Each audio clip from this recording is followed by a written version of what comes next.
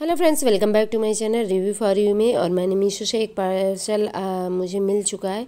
तो मैं आज इसे ओपन करने जा रही हूँ। मैंने एक रिस्ट वॉच मंगाई थी आ, तो आ चुकी है। तो अब इसको ओपन करके दिखाती हूँ आप सभी को कि ये कैसी आई हुई है। और जब तक मैं इसे ओपन कर रही हूँ तब तक आप सबसे एक रिक्वेस्ट है कि मेरे वीडियो अगर अच्छे लगें तो प्लीज़ लाइक और कमेंट कर दिया करें।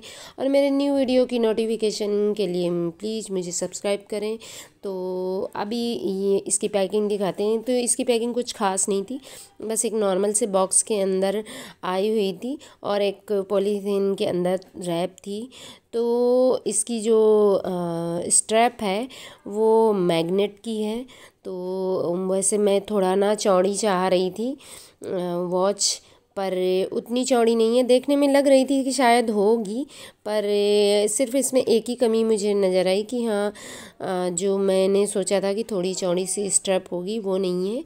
और मैग्नेट होने की वजह से आप इसको कहीं भी आप जहाँ भी चाहें, आपके कलाई की नाप से जो होगी, वहाँ पर ये टक हो जाएगी मैग्नेट से।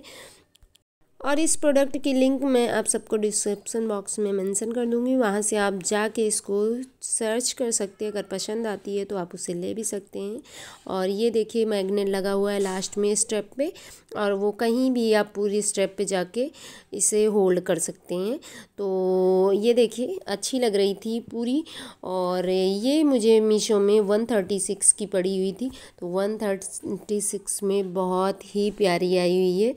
तो आप सब ज़रूर बताइएगा, कमेंट करके कि कैसी लगी आपको। मुझे तो अच्छी लगी। बस इसमें एक ही प्रॉब्लम है कि मैग्नेट होने की वजह से ना ये कभी कभी बहुत जल्दी निकल भी जाती है। तो बस एक इसमें यही है और चेन देखिए कितनी पतली पतली सी, बिल्कुल भी हाथों में लगती भी नहीं है। बहुत सॉफ्ट सी एक चेन है।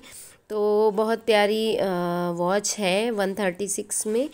तो अगर आप सबको अच्छी लगे तो आप भी जाके परचेज कर सकते हैं। मुझे तो ओवरऑल अच्छी लगी तो मैंने इसको अपने पास रख लिया है। कभी कभी यूज़ भी कर लेती हूँ। तो ये तो था आज के प्रोडक्ट का रिव्यू तो मिलते हैं आप सभी से नेक्स्ट वीडियो में किसी न्यू प्रोडक्ट के साथ। तब तक के लिए bye bye and take care